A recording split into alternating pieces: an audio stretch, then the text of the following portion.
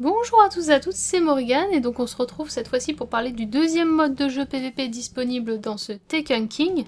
Et donc il s'agit du mode Rift hein, qui s'apparente à un mode capture du drapeau, tout du moins c'est comme ça qu'il le présente. Et donc cette fois-ci on est sur quelque chose quand même de plus compétitif que le mode que je vous présentais juste avant. Et donc dans ce mode, une, une étincelle apparaît, une spark, en version originale. Pendant 20 secondes elle se charge, au bout des 20 secondes vous pouvez aller la récupérer, donc cette étincelle est commune. L'équipe qui arrive à la récupérer doit aller l'emmener dans le camp adverse, au niveau du rift adverse. Et donc s'il y, parvient, tous les ennemis présents dans cette zone euh, mourront hein, sur le coup. Et bien sûr le point sera marqué euh, pour son équipe.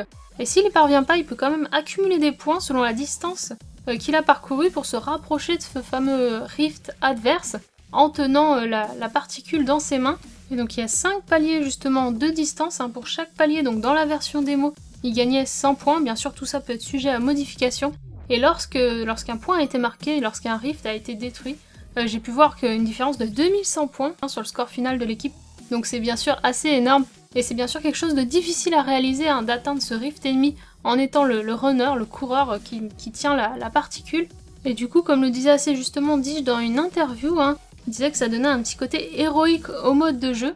Petite précision que j'ai également oublié de vous donner, le, coureur a 1 minute 15 pour aller poser sa, bombe, finalement, sa particule dans le camp adverse et on a une minute 15 pour le tuer hein, quand on est, l'équipe adverse. Le coureur peut bien sûr continuer à utiliser ses armes, par contre il me semble qu'il n'a plus de super d'après ce qu'on peut voir euh, sur les images.